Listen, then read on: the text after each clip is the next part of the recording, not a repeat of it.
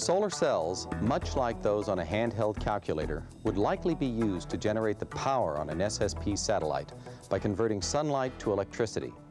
However, power generation in space for an SSP system poses multiple challenges. First, an extraordinarily large area of solar arrays will be required for large-scale power generation.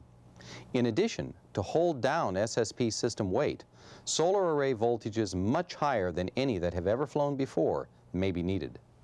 NASA and its partners are developing several different innovative technologies to meet this challenge. This is a key strategy. By pursuing several competing technologies in critical areas such as power generation, we dramatically increase our overall probability of success. Some of the technologies that you're about to see have the added advantage that they might be combined with one another, boosting power levels still further.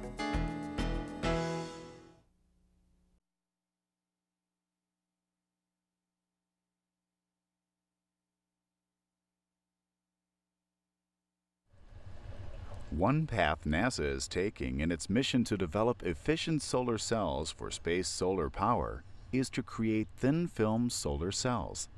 Thinner and lighter than traditional silicon solar cells, thin film solar cells require less material, as well as a lower grade material. Therefore, thin film cells are less expensive to produce. However, these cells have a complex structure, and high quality cells are difficult to manufacture. NASA, in collaboration with the Ohio Aerospace Institute and Cleveland State University, has created a series of single source precursor molecules. A single source precursor molecule is a single molecule that contains all of the individual elements that are deposited on the final solar cell material.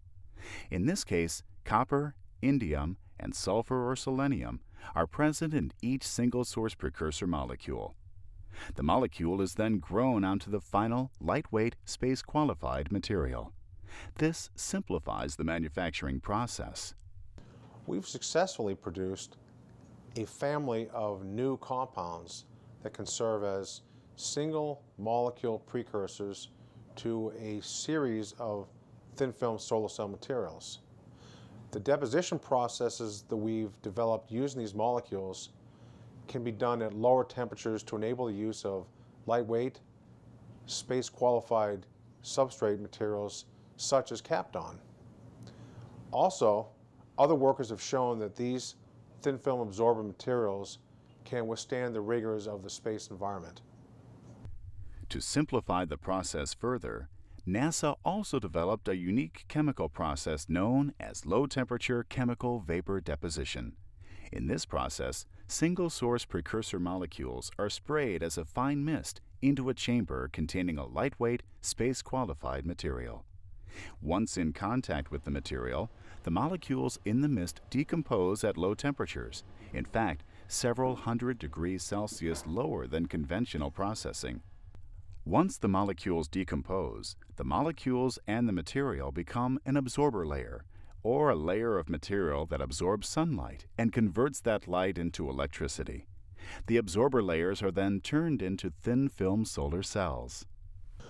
What we've done is we've taken a chemically based approach. This enables molecular level or, or atomic level mixing of the elements. Because of this, we can do our deposition processes at much lower temperature. In fact, several hundred degrees lower in temperature.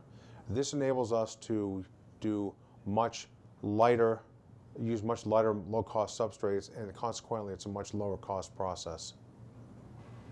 To make thin film solar cells truly practical for space solar power, NASA must continue to fine tune its process for creating thin film cells.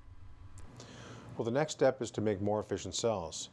We also need to scale up our process so that we can deposit our solar cell materials on much larger substrate areas. Of course, space solar power requires extremely large areas, and we need to make a more manufacturable process to enable the use of larger equipment using a process that is much more reproducible. Thin film solar cells offer tremendous promise for space solar power by creating more efficient, lightweight, and cost effective solar cells.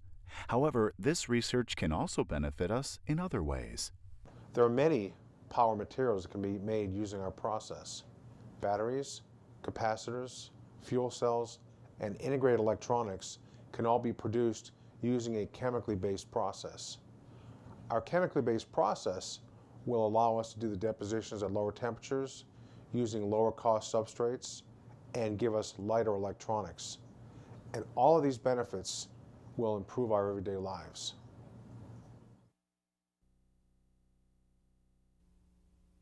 Space solar power will require lightweight, high efficiency, low cost solar cells for power generation.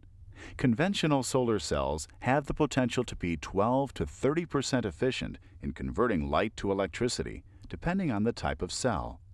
However, when the new technology of utilizing quantum dots is incorporated into a solar cell structure, the cell's potential for converting light can increase dramatically.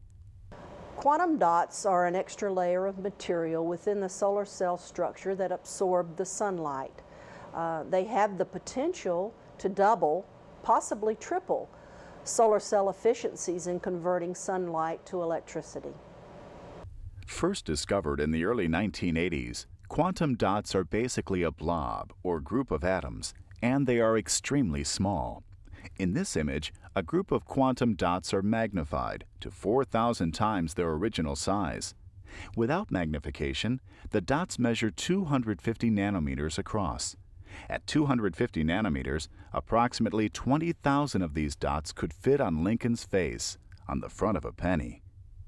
Different sized dots absorb different types of light from the sun. While smaller dots absorb more blue light, larger dots absorb more red light. By controlling the manufacturing process, NASA can create quality dots that are the correct size. As a result, quantum dots have the potential to provide lightweight, low cost, high efficiency solar cells that are better adapted for the launch environment and have the ability to withstand radiation from the sun. Creating quality quantum dots that are the correct size proves to be a challenging task. NASA recently developed several different quantum dots for research, funded by the Space Solar Power Program. We had to overcome quite a few obstacles to create the quantum dots. Uh, our first problem was contaminants in the chemicals, which we had to then purify in order to synthesize the dots properly. Also, the size of the quantum dots is critical. Therefore, we needed to be able to create them in the appropriate size and isolate them so that we could eventually use them within a solar cell structure. The next step for NASA is to create the solar cell structure in which the quantum dot can be tested. We're at an exciting point in our research. We plan to develop a device structure in collaboration with the Amorphous Silicon Group at Penn State University. We will build the actual quantum dot solar cell structure and test its efficiency. This will give us a comparison against the theoretical efficiencies of the quantum dot solar cell.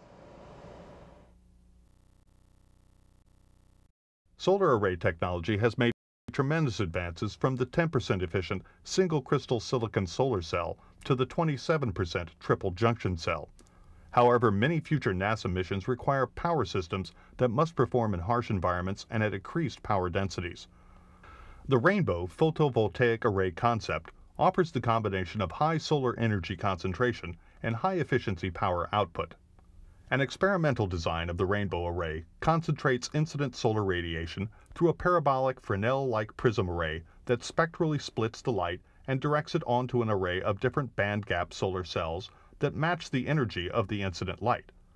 The actual concentrator consists of a lightweight thin film rigid array of prisms with solar cells selected to match the energy of the incident spectral bands. Bandgap matched solar cells were tested under the rainbow produced by the prism array as a demonstration of the potential for high power output.